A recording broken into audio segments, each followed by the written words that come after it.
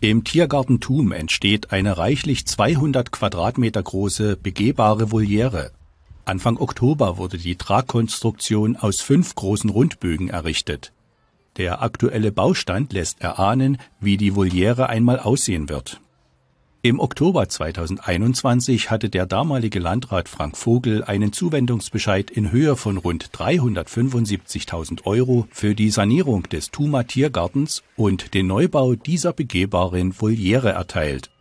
Schon im Februar 2020 bekam Thum Fördermittel in Höhe von rund 530.000 Euro, um die Einrichtung durch Neugestaltungsmaßnahmen fit für die Zukunft zu machen. Die begehbare Voliere entsteht in der Nähe des Teichs.